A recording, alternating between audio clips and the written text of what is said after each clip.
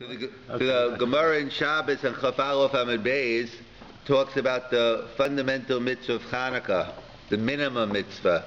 So the Gemara tells us, Ner Ish Ubeso. To fulfill your minimum obligation of Ner Hanukkah, one needs to have, oh, just one candle per household per day. In other words, we have eight days of Hanukkah. This year we have two Shabbos Hanukkahs. It happens to fall out the first day on Shabbos and the last day on Shabbos. So to fulfill your minimum obligation, it does help us on a for Friday night because um, because some people um, will see what different candles they use and they only use one Shabbos candle, but we'll get to that. But it could be helpful. It's two Shabbos Hanukkahs. So the luck is one candle per day per household. So in other words, every day of Hanukkah, all you need is eight candles, not including the shamish, let's say, which the Gemara doesn't even talk about at the moment. So basically, if you light one candle every night of Hanukkah, no one can take your mitzvah away from you. You have fulfilled your mitzvah of Ner Hanukkah. Then the Gemara goes on and says, however, the Hamahadrin, those who want to pursue it further, they want to pursue mitzvahs even more, you know what you should do? You should light up Mahadrin near L'chol Echad B'Echad. In other words, let's say you have 10 members in your household, and I'm not going into which members count, cats, dogs, or kids, If- if but whatever whatever a member means, there'll be a separate discussion. But you go by each member of your household. So if you have 10 members, so you light 10 candles every night. So if you want to do, if you want to pursue mitzvahs even more, the minimum level is one candle a day. The second level is 10 candles every day. You do one, you find out how many members, you times the day, and that's it. Every day is the same. Sorry, could I back in? You sure if can. for, for nine other people as well as myself, am I the shaliach, is it just me doing, just me doing the That ten will, times? that we'll get into. Exactly, that when we, when we see what the nature of the mitzvah is, then we'll be able Oh, to answer it. Hmm, I guess. I don't want to give it away. I'm not going to ruin the end now. But Mahadrin min Mahadrin, that would be Benado V'Chavero, and I ruin it for everyone, wouldn't be fair. But Mahadrin min Mahadrin, and the Gemara gives something that we usually don't have. Usually Mahadrin min Mahadrin we find on kosher cheese or on salamis. What is the Mahadrin min Mahadrin? You want to first, you want to do the best of the best. So what do you do? A Mahadrin a Mahadrin. So Gemara says we have a famous dispute Beis Shammai and Beis Hillel. Beis Shammai Omrim Yom Rishon Madlik Shemona. The first day of Hanukkah, we light eight candles. Mikan de'elech poches v'holech. So according to Beis Shammai, you go the most candles the first night, and every day you go down. Ubeis Hillel Omrim Yom Rishon Madlik Achas Mikan ve'elech Mosif v'holech. And Beis Hillel says the opposite. And we'll get into perhaps there's a fundamental machlokas Beis Hillel Beis Hillel and Beis Shammai how they view the world, how they view the halakha in terms of this machlokas is this one we have to have a whole picture of all the other ones. We're not doing that today, but, but over the next couple of weeks before Hanukkah, we'll get into what's really behind this Machlokas Beis Hillel Beis Shammai, which is more, we'll see it revolves around how Beis Hillel and Beis Shammai view the world, etc. So, but either way, what we what, what the Gemara says is Beis Shammai says you go you like eight the first night you go down, and Beis Hillel says you go up. So what exactly is when the Gemara tells us Mahadrin min a Mahadrin? So how would you learn it? And we know what's clear is the first level is one candle per household. That's it. If you light one candle every night, you have your mitzvah of Hanukkah. If you want a Mahadrin, you want to pursue mitzvahs, you light 10 candles every night or whatever members you have in your household. So how would you learn what is the next best thing? But the Gemara seems to say there is the next best thing. So what is it? It's very unclear. What is that? Is is there a third level? What is it? What is actually the Gemara telling us? So this is a machlokes the Rambam and the Bali Tosis. This is a dispute between Maimonides and the Bali Tosis on how do you learn this Gemara. What is this Gemara going on? So, since we have Tosis in front of us, I'll read Tosis first. Nira Lari, So what Tosis says, you know, you read the Gemara, there are only two levels. And now Mahadrin and Mahadrin is going back on the original thing we said. That Nirishu Beiso is one candle every night. If you want to do Mahadrin and Mahadrin, if you want to follow Beishamai, you do 8, 7, 6, 5, 4, 3, 2, 1. If you want to follow Beis Hillel, you do 1, 2, 3. So they're saying it's not a third level. We're going back on our original halach of Nerishu Beso, and we add a candle per night. That's how that's how Tosus learns this, um, how you learn Mahadrin and Mahadrin. so according to Tosus, how would a Mahadrin and a Mahadrin look? So it would look that on the first day of Hanukkah, you'd have one candle, or according to Beis Hillel anyway, you'd have one, two, three, etc. According to the Rambam, you know what you do? It's a third level. It's building on the first two levels. That on the first level, in the Erush one candle per household. Level number two, you have 10 candles. And level number three, you'd have, on the eighth night anyway, you'd have 80 candles. You'd like 10, 20, 30, 40, 50, 60, 70, 80. So according to Tosfos within Beis Hillel, since that's the way we paskin, I'll just work with Beis Okay, Hillel, yes. and you just reverse it if you want to know what Beis Shammai says. So Beis Shammai would do 80 down to 10, or 8 down to 1.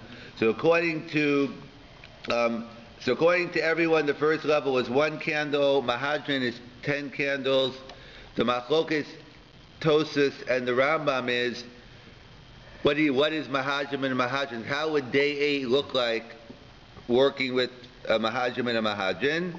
So Tosa says, look, you have eight candles in your household, even if you had 10 members in the family. And Rambam says you have 80 candles. So what is in the Kudus Hamachlokes? What is this dispute about between between Rambam and Tosas? Which one's better? Like, what's the, why does Rambam say 80 candles is the Mahadrin and a Mahadrin? And why does Tosas say the eight candles? What's this issue here between Beis Hillel, between Tosas and the Rambam? So actually, if, if we go on, oh, just, just to drop in the Gemara, the Gemara itself doesn't answer our question, but with the Gemara we could answer our question, is it gives us the reason for Beis Hillel, Beis Shammai. It, but not Tosas and Rambam, but it tells us why Beis Shammai says should go down and why Beis Hillel says should go up. So let's understand that first, and maybe we can understand the Machokas. So it says, Plugi Bei Trei Amorai B'Marava. Ula said that the two Amoram are arguing what this means. Rav Yossi Bar Avin to Rav Yossi Bar Zvida. Matayma de. So then, they have two different reasons why they said what Beis says, and two different possibilities for Beis Hillel. Chada Matayma Keneged Yomim Hanechnasin. So Beis Hillel says, you ask yourself, Beis Shammai says, how many days left of Hanukkah? So day one, there's eight days left. The first, to each each day Hanukkah diminishes, so you, so you, so you lessen the candles. The time of the Beis Hillel, and the reason for Beis Hillel is Keneged Yomim Hayotzin. And what day of Hanukkah in? So that's that's um, that's one opinion. And the other opinion says no. I'm not not it disagrees, but it gives it another reason. What is Beis Shammai based at? Why do you go down? It says Keneged Pari Hachag. It corresponds to the different sacrifices, the the bull, the, the Pari Hachag on the Sukkot festival. And the Sukkot was a universal holiday. We used to bring sacrifices in the temple for everyone, and we used to go down 70, 60. They used to bring less and less carbonos on um, on Sukkot. So therefore, Beis Shammai clearly patterns, um, clearly thinks that, uh, we'll get to why in a second, that Hanukkah patterns Sukkot. So what, why did he go to Sukkot? I could find probably something else if I go at Shavuos. So what's the connection between Hanukkah and Sukkot? But before we get to that, let's see what he says. He says, just like on Sukkot, we go down in carbonas every day, we go lower. so too Hanukkah we go down. And Beis Hillel says a famous principle, the Malin Bakodesh, the Ein Moridin. In general, we like going up in sanctity, not down. We like to look forward, not backwards. In other words, we're going to be putting on our talis and tefillin in a couple of moments. So the minig is, the custom is, we put on our talis first, and then we put on our tefillin.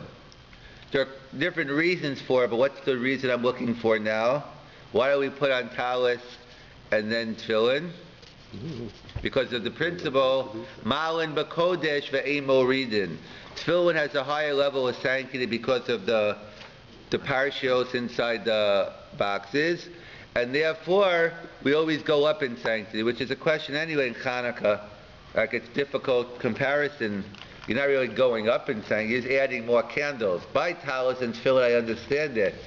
But by Hanukkah, it's more difficult to understand. I'm not really going up unless you're saying the sheer number of candles makes it a higher level of Kedusha, which seems the Gemara seems to be saying. But either way, so we have two reasons for each. Beis Shammai says you go through, either you ask yourself what day, how many days left, or what day are we in, or do you go by? He compares it to Sukkot. Sukkot we go down in how many karbanas we bring. So to um, so to um, um, on Hanukkah or Malin Bakodesh Ve'ein Moridin. So this, what is the con- what, what are some connections between Hanukkah and Sukkot? Why does Beis Shammai seem to pattern descending order after Sukkot. So there are a couple of similarities between um, this, you know, without delving into, without delving into Hanukkah or Sukkot, this from superficially even, what are some similarities between the two? The length. The length. Very good. So eight days. So that's very. So that's one is the eight days of Sukkot, the eight days of Hanukkah, right? And also another one we didn't get to the Gemara yet as you might not know by living today, unless you live in Brooklyn like I have or Israel, but the original practice, and some still do it today, of in lighting near Hanukkah, you light it outside. You light Pesach Besa, you light it outside on opposite of your mezuzah. So the mitzvah is done outside. Like. Last time I checked, your sukkah is, if it's not outside, you better get back to me on how to build the sukkah. But your sukkah is outside, and your Ner Chanukah is outside. And also there's another halacha, actually of Persume Nisa, that actually there's a halacha of, that the sukkah can't be too high, the schach can't be above 20 amas, because the halacha is, part of the mitzvah of sukkah is when you're sitting in the sukkah, you're supposed to be able to see the schach and say, oh, we're right. Uman Yedu Dorasechem, yeah, the Jewish people left, they were traveling in the desert, look what God did for us. Part of the mitzvah is reflecting on the schach. So if the schach's too high, so then you don't get the mitzvah of sukkah. So too near Hanukkah, the mitzvah is persume nis, it's to publicize the miracle, mm-hmm. and it can't be over 20 amas high. So we find this on a superficial level, besides on deeper levels, that's the connection between Sukkot and Hanukkah, that the length of the holiday, 8 and 8, the mitzvah is done outside, and in terms of, it shouldn't be more than chaf amma, can't be more than 20 amma. That's why Beis Shammai compares the halacha of Chanukah to Sukkah. Just like by Sukkah we descend in terms of the karbanas we bring, so too on so too on Chanukah. So we have two. So we have two reasons for each. They each give their own. Beis Hillel has two reasons according to the rabbis and Beis Shammai. So knowing this, perhaps this is what the Vilna, the students of the Vilna Gaon claim the Vilna Gaon said. The Vilna Gaon said the Gemara gave two reasons for each. So it depends which reason do you accept as the primary Ooh. and which reason do you accept as secondary. When the Gemara gives it, so let's just go with Beis Hillel because that's the way we pass in. But within Beis Hillel, do we go by what the Iker is what day of Chanukah it is now? Or the, or the primary thing is Malin Bakodesh, or the Iker is going up in Psyche, not going down.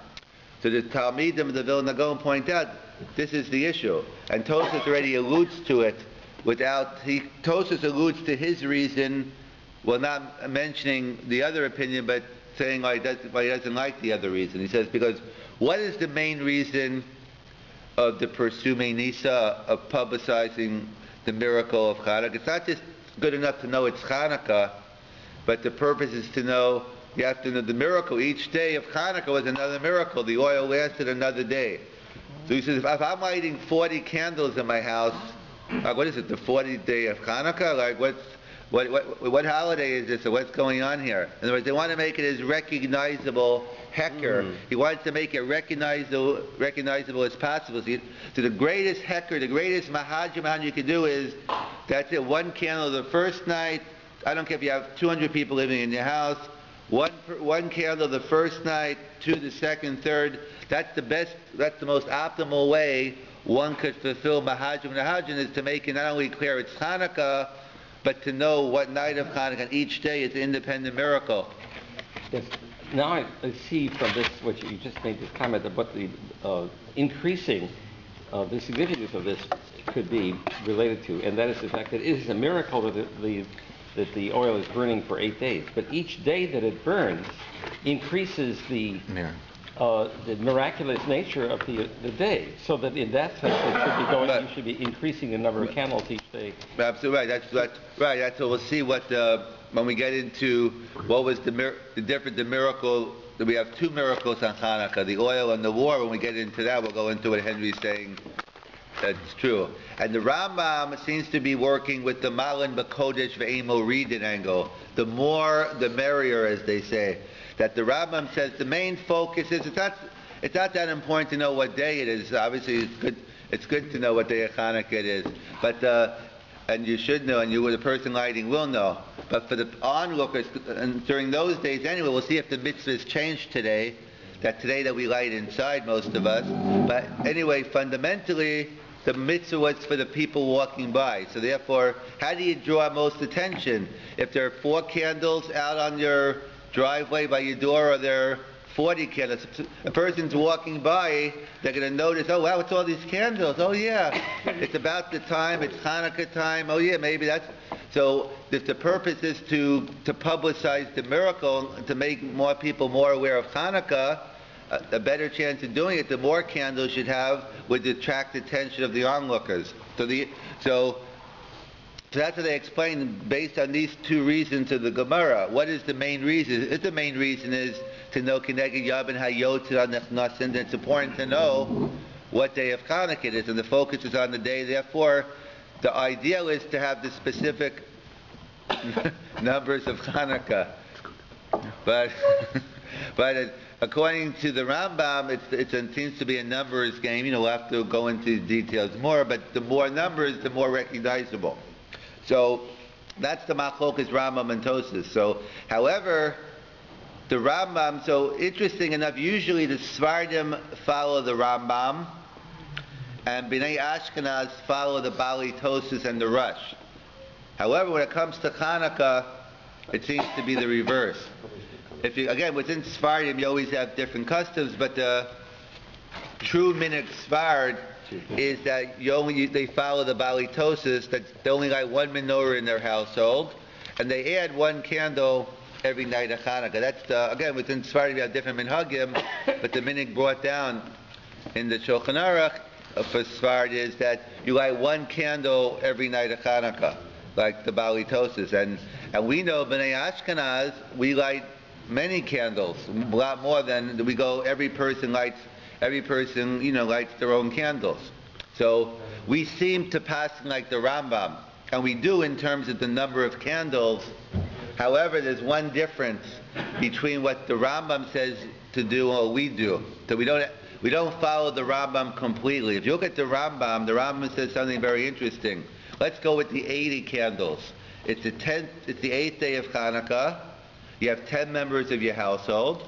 So therefore, 10 times 8 is 80. So on the last night of Hanukkah, you'll listen, you have 10, 20, 30, and the last night you'll end up with 80 candles. So the Rambam writes, you know what? The Baal Habas, the head of the household, he lights all 80 candles. Hmm. It's the one, whatever, it's 10 candles, 20. The Rambam's right that the one who, the Baal Habas lights all 80. And we know that's not our minhag. Our custom is everyone lights their own menorah. They make their own brachas and they light.